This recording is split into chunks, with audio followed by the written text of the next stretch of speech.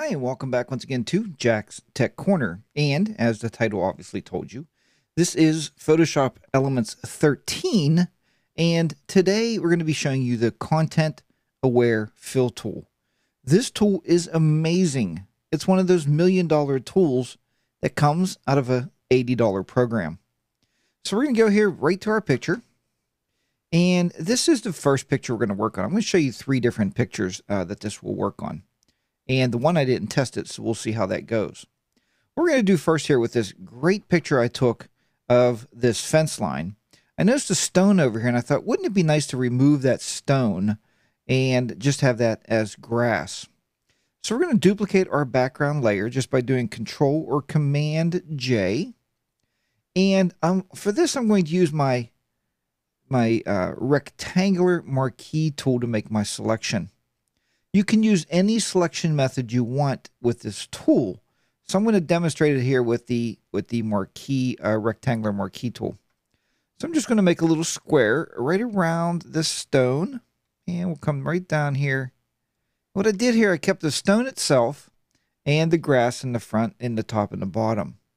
Now what we're going to do is we're going to go ahead and activate this tool.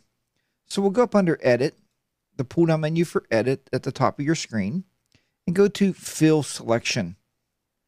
Once we have the fill selection, it's going to say use content aware. The normal uh, blending mode will be normal and 100% opacity. Then we'll just simply click OK.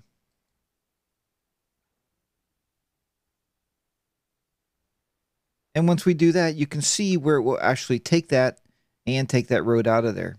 Now, if there's a little bit of bleed over, you can see there's a little bit of bleed over here from the road itself. It pulled it over. We can simply revert this and have the stone back.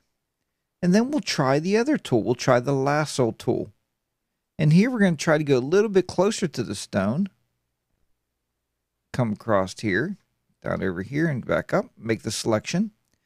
And again, you're just going to go to Edit, Fill Selection content aware once again. Click on OK. And you can see where it did a much better job. If you hit the Control D now, we can see where it got cleaned up.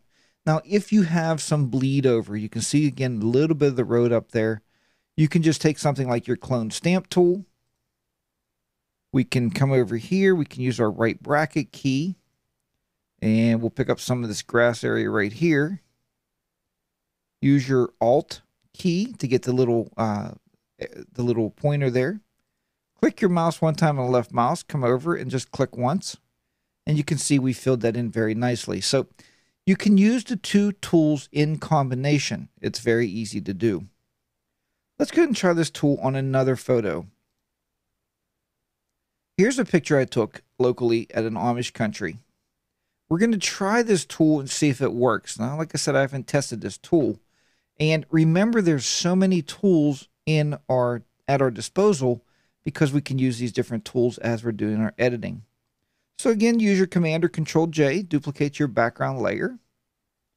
Again, we're going to use the marquee tool, and we're just going to outline these people here that got in our picture. I don't know these people, uh, so they really, you know, don't mean anything to me. Uh, I'm sure they mean stuff to their own family, but not to me, so maybe I don't want them in my picture.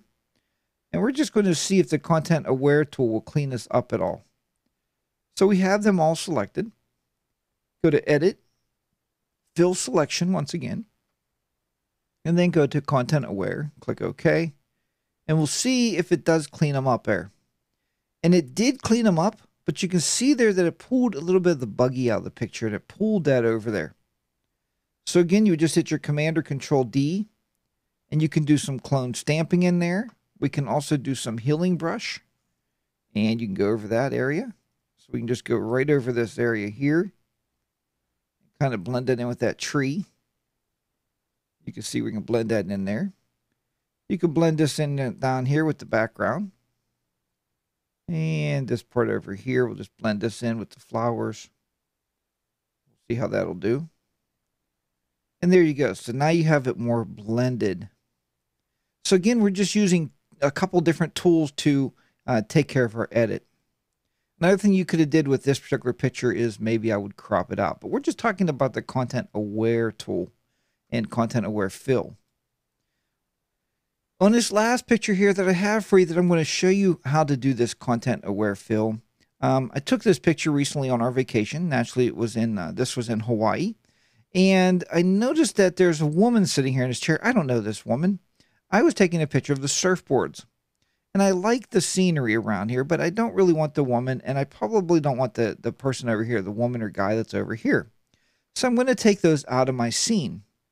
And we're going to do that very simply once again with the content aware fill.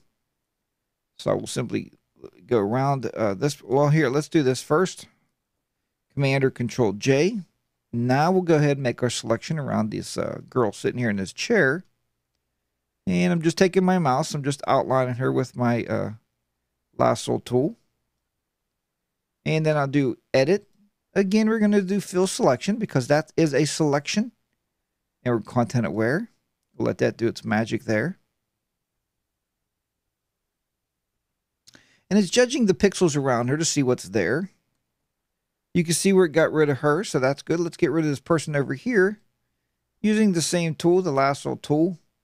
Go around the person here and down. And just like that, that should be a good selection. We're going to fill the selection. And we'll just fill that selection in. Commander Control D. That brings it back. And there's our uh, scene now with really no major distractions. I mean, you got people down here. You can obviously get rid of those folks too just by doing the same thing. And edit and do the content, uh, the fill selection with the content aware. And you can go around just getting rid of each and every person in your scene that you don't want. So it's a very easy tool to use. Well, folks, I hope you enjoyed this short video tutorial. Seems like a lot of you like the short ones, you know, get it done, get it quick, and just show you some highlights of it. And that is the new Photoshop Elements 13 Content Aware Fill Tool. Um, it works very, very well, as you've seen here in these pictures. And if you want to learn more, please go to my website, jtclearning.com, where you can sign up for my online photography course, my online Photoshop Elements editing course. Now, that is at this time Photoshop Elements 12, and most of the edits that I teach you in there are still, well, all the edits in there will still work with uh, 13. So it's still a, a very uh, valuable asset to your arsenal of um, of photo editing. So thank you for, so much for joining me, and I will talk to you next time here on Jack's Tech Corner. Take care, and I'll see you back here next time. Bye for now.